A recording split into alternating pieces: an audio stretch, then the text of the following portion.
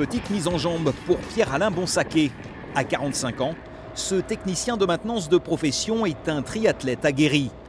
Avec une cinquantaine de triathlons au compteur, il participera ce samedi pour la seconde fois à celui de Royan.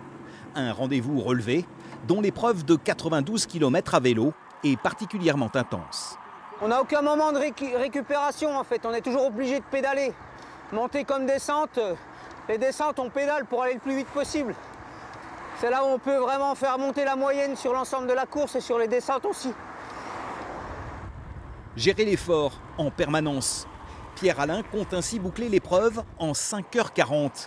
Un défi qui passe par une parfaite maîtrise du passage d'une discipline à une autre, les fameuses transitions. Ah oui, il faut essayer de perdre un minimum de temps, être le plus efficace possible. Pas perdre sa concentration, ne rien oublier.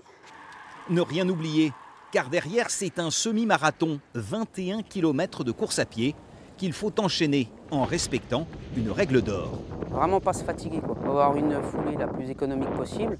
À évidemment pas, pas rater les ravitaillements, ça c'est clair. Et puis là en l'occurrence à Royan, quand il fait euh, à peu près 30 degrés et qu'on n'aime pas trop la chaleur, ben, tous les points d'arrosage, on en profite. Aujourd'hui c'est entraînement et la préparation s'achève par une séance de natation. Et là encore, pas question de se relâcher en compétition.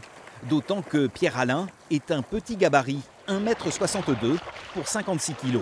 J'ai un peu moins d'allonge, j'ai des petites mains, donc euh, j'ai un peu moins de prise. Et puis, bah, ma foi, après, on essaie de compenser par le, rythme, hein, euh, en ayant la caisse, et puis s'appliquer sur sa technique de glisse. Et de la technique, il en faut pour parcourir les 1 km de natation en mer.